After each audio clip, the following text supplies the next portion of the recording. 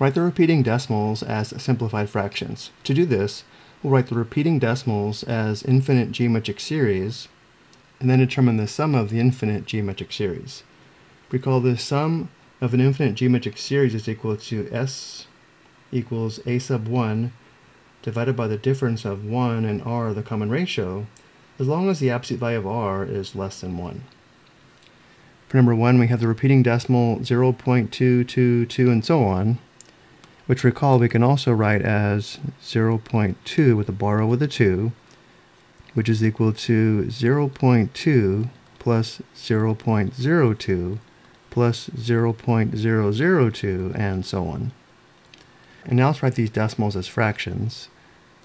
We have 2 tenths plus 2 hundredths plus 2 thousandths and so on. Notice we have an infinite geometric series where a sub 1, the first term, is equal to 2 tenths, which we can also simplify to 1 fifth. And now to determine the common ratio r, hopefully we can recognize that 2 tenths times 1 tenth is equal to 2 hundredths, and 2 hundredths times 1 tenth is equal to 2 thousandths, which indicates the common ratio r equals 1 tenth.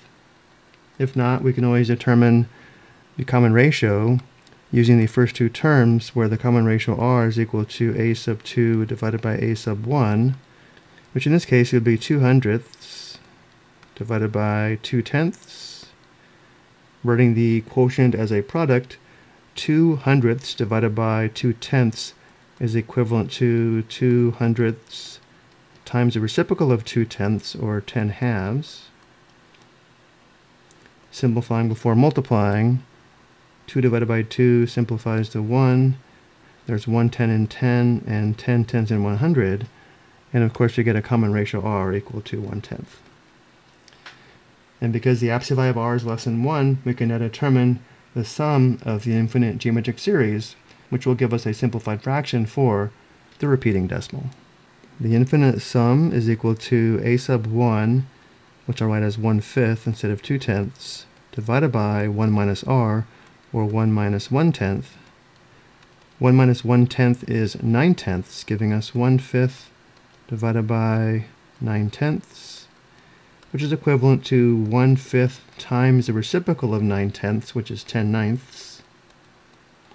Simplifying before multiplying, 5 and 10 share a common factor of 5, 1 5 and 5, 2 5s and 10, the product is 2 ninths, because the infinite sum is 2 ninths, we know the repeating decimal of 0.2 repeating is equal to the simplified fraction of 2 ninths.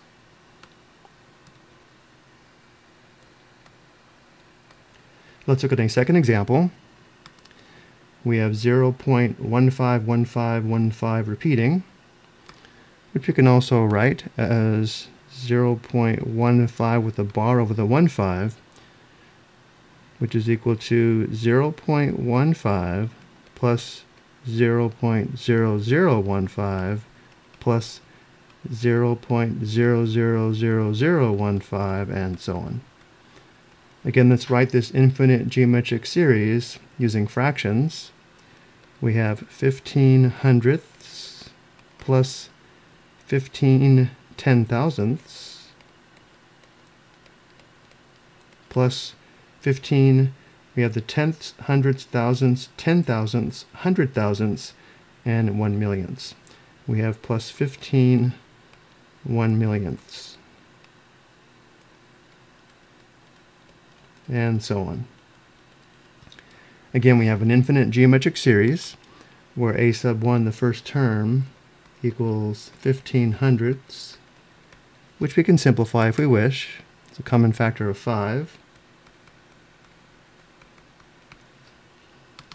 15 hundredths simplifies to 3 twentieths.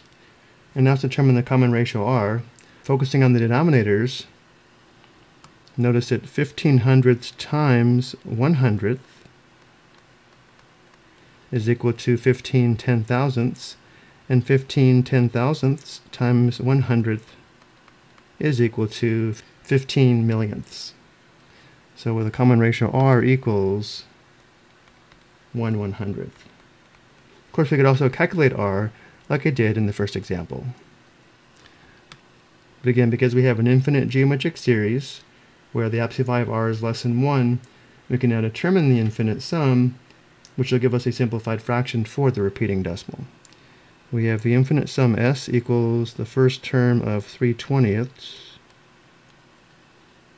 if we want 15 hundredths divided by 1 minus r, which is 1 minus 1 hundredth, which gives us 3 twentieths divided by 99 hundredths, which is a product, is 3 twentieths times the reciprocal of 99 hundredths, which is 199ths.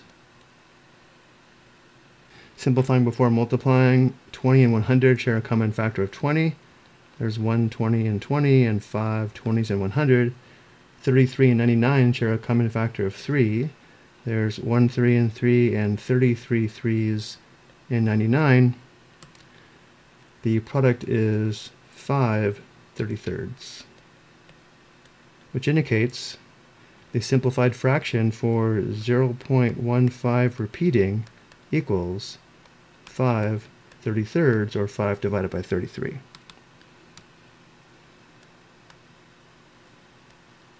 I hope you found this helpful.